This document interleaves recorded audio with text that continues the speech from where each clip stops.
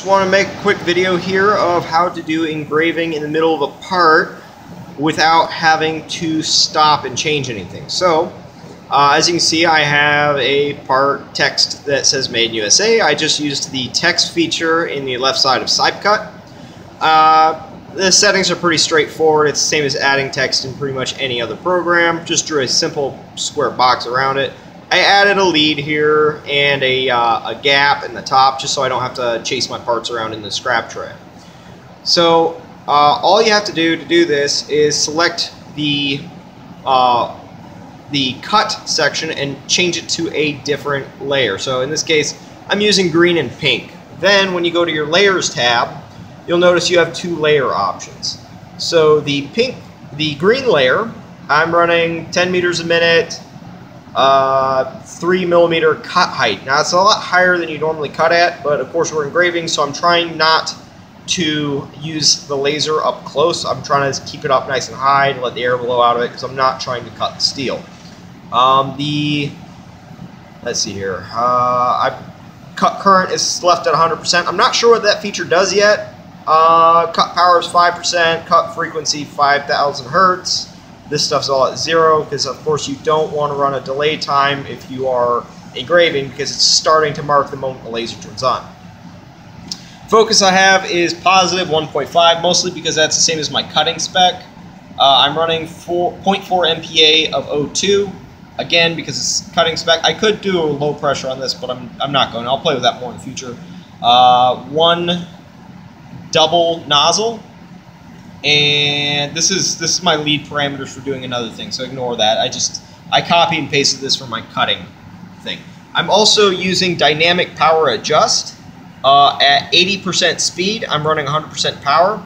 Now it's important to note that 100% power is 100% of your cut power. So 100% is not 100% of the machine. It is 100% of 5%. And then it goes down here to uh, at 10% speed, it is 50%. And that's just a constant line. And that, of course, is 2.5% of the machine. So uh, I know I said all that pretty fast. Just look closely at this and copy it if you're going to do a basic text. Now, I'll, I'll do more on this in the future.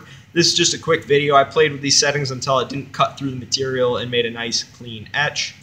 Uh, of course, then my cut layer, same speed, same lift height, 0.3 millimeter on the cut height. That's your nozzle standoff distance.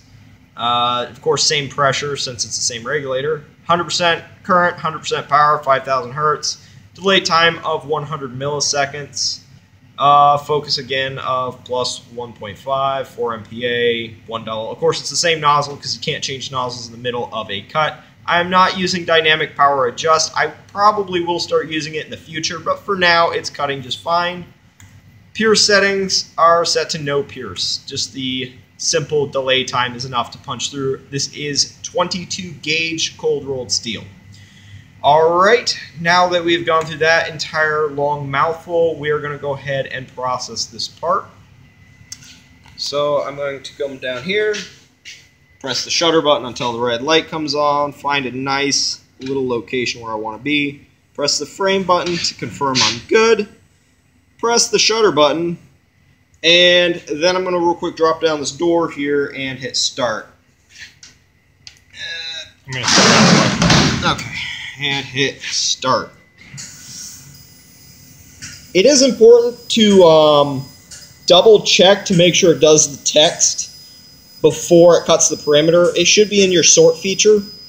Um, but there you have it. Also, run your exhaust blower. I have it off so you can hear me, otherwise, and that smells really strong, actually. Take the blower on real quick. One second.